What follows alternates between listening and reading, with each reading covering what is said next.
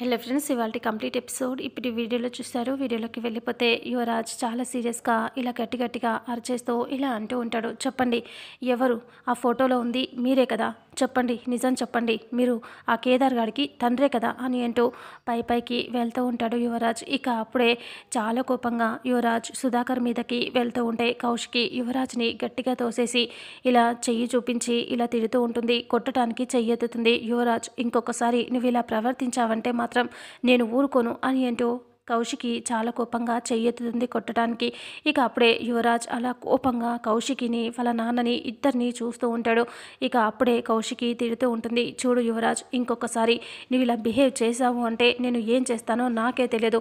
బాబాయ్ మీదకి ఇలా పై పైకి వస్తావా? నీకు అసలు బుద్ధుందా? అని అంటూ అరుస్తూ ఉంటుంది. ఇక అప్పుడే యువరాజ్ అలా కోపంగా చూస్తూ ఇక వాళ్ళ నాన్నని పై పైకి వెళ్దామని కొడదామని ఏదో ఒకటి. చాలా కోపంగా ఎంత దారుణంగా ప్రవర్తిస్తూ ఉంటాడు యువరాజ్. ఇక అప్పుడు కౌశికి అంటుంది వెళ్ళు వెళ్ళి ఇక్కడ నుంచి వెళ్తావా లేదా? అని అంటే ఇక అప్పుడే గన్ తీస్తాడు యువరాజ్ గన్ తీసి ఇలా చూపిస్తూ ఇలా అంటూ ఉంటాడు.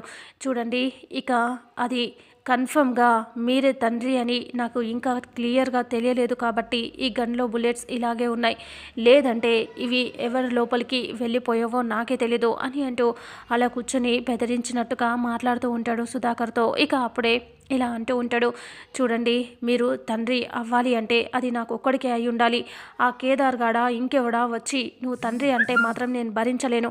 ఏం చేస్తానో నాకే తెలీదు అని అంటూ యువరాజ్ గన్ పట్టుకొని సీరియస్గా వాళ్ళ నాన్నని చూస్తూ గన్ని ముందు పెట్టి అలా పట్టుకొని చూపిస్తూ బెదిరించినట్టుగా మాట్లాడుతూ ఉంటే సుధాకర్ మాత్రం ఏమీ మాట్లాడకుండా అలా సైలెంట్గా చూస్తూ ఉంటాడు. ఇక అప్పుడే కౌశిక్ కౌశికి అలా టెన్షన్గా చూస్తూ ఉంటుంది. ఇక అప్పుడే దాత్రి కేదార్ ఇద్దరు అలా పైనుంచి చూస్తూ ఉంటారు.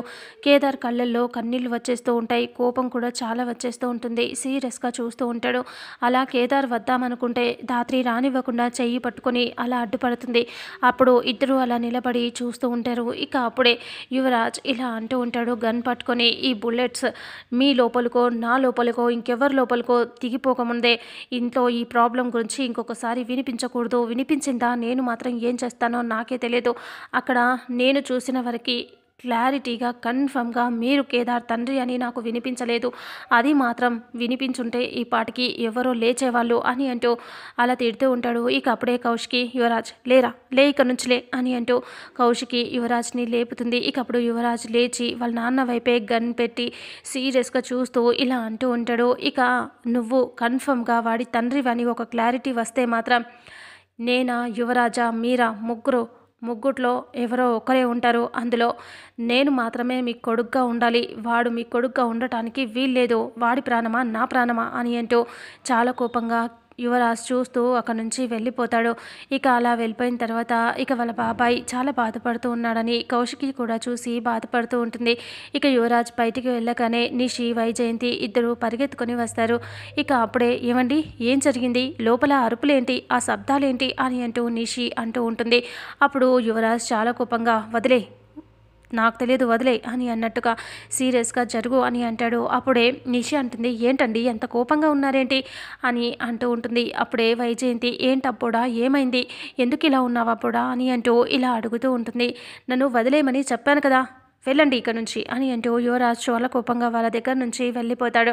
అలా వెళ్ళిపోయిన తర్వాత ఏమైంది ఇడికి అని అంటే రండత్తయ్య లోపలికి వెళ్ళి చూద్దామనేసి నిషి వైజయంతి లోపలికి వచ్చేసరికి బాబాయ్ మీరు కామ్గా ఉండండి అని అంటూ కౌశికి అక్కడ ఉన్న ఫొటోస్ని తీసుకొని చేతిలో పట్టుకొని ఇలా వెనక్కి తిరిగి చూసేసరికి నిషి వైజయంతి ఇద్దరు ఎదురుగా ఉంటారు. ఇక అప్పుడే నిషి ఏంటి వదిన ఏం జరిగింది ఇక్కడ? అని అంటూ అడుగుతూ ఉంటుంది నిషి. ఇక అప్పుడే కౌశికి ఏం లేదులే అని అంటూ ఇలా వెళ్ళబోతే ఆగంటొద్దున అసలు ఏం జరిగిందో చెప్పండి. ఆయన ఎందుకు అంత కోపంగా ఉన్నారు? ఇక్కడ మావయ్య ఎందుకు అలా బాధపడుతూ కూర్చున్నారు? మీరేంటి? ఈ ఫోటో ఏంటి? ఇలా ఇవ్వండి అని అంటూ నిషి తీసుకోపోతే ఇక అప్పుడే కౌశికి వద్దు నేను ఇవ్వను అని అంటుంది. ఏ ఎందుకు ఇవ్వరు? ఇవ్వండి వదినా ఇవ్వండి. అసలు ఏం గొడవ జరుగుతుందో చెప్పండి అని అంటూ నిషి అంటుంది. అలా అనేసరికి ఏం లేదని చెప్పాను కదా నిషి? ఇది ఇంట్లో వాళ్ళ సమస్య.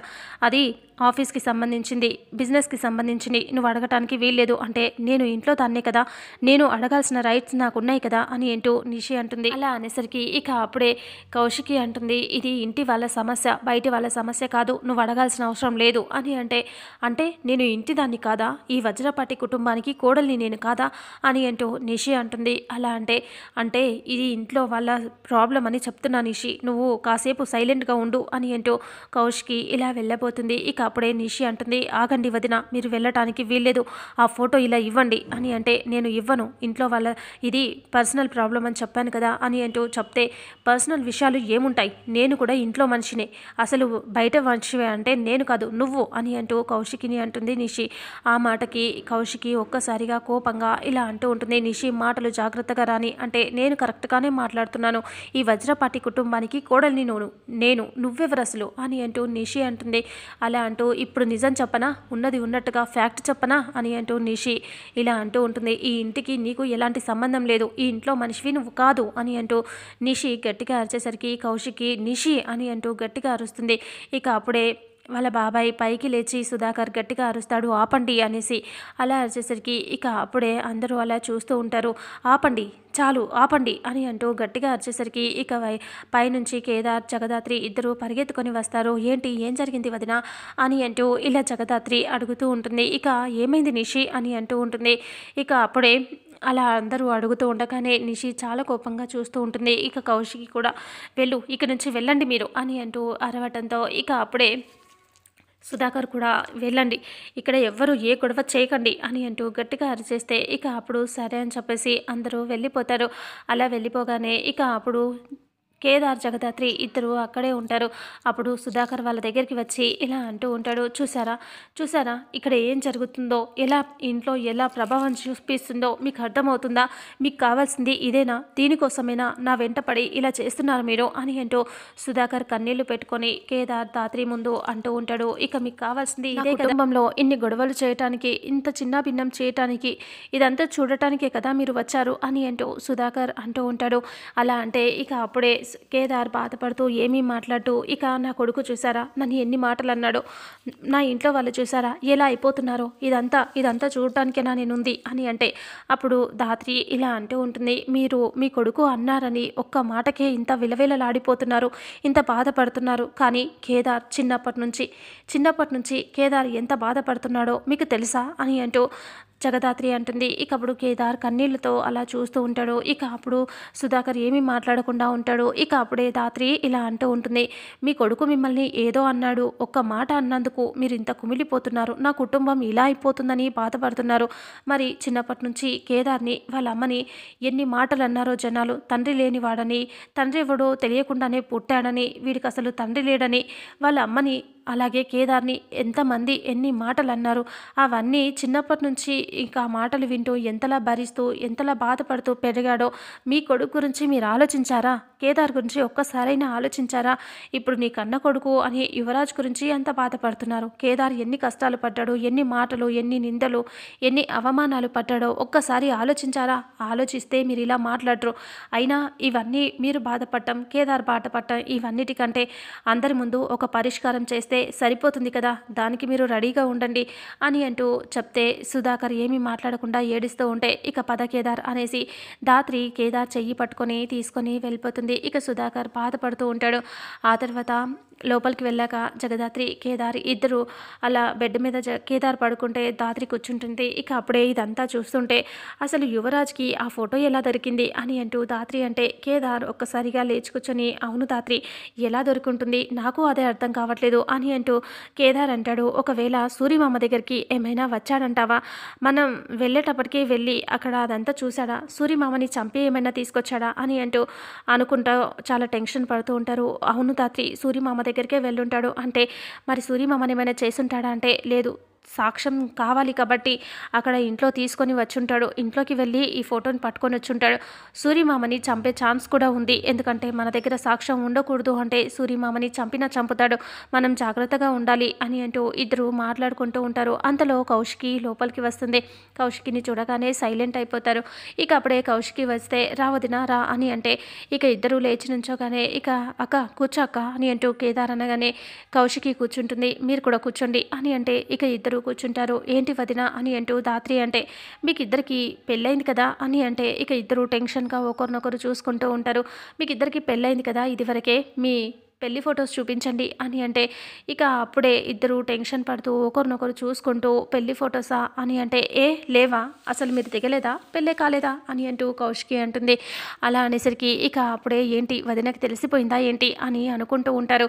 ఇక అప్పుడే పెళ్ళి ఫొటోస్ దిగలేదక్క అని అంటూ కేదార్ అంటాడు. ఏ ఎందుకు దిగలేదు? దిగాలి కదా. పెళ్ళి అంటే మామూలు విషయం కాదు కదా? అని అంటూ కౌశికి అంటుంది. అలా అనేసరికి ఇక తాళి కట్టేటప్పుడు పెళ్ళి ఫొటోస్ ఏమైనా ఉన్నాయా అంటే ఏమి లేవని చెప్తే ఈ రోజుల్లో ఫొటోస్ లేకుండా ఎవరుంటున్నారు? అయినా మీకు పెళ్ళైందా లేదా అని నా డౌట్ అని అంటూ చూపిస్తూ ఉంటే ఇక ఫోన్ వైపు చూస్తూ దాత్రి అమ్మో వదినకి తెలిసిపోయిందా?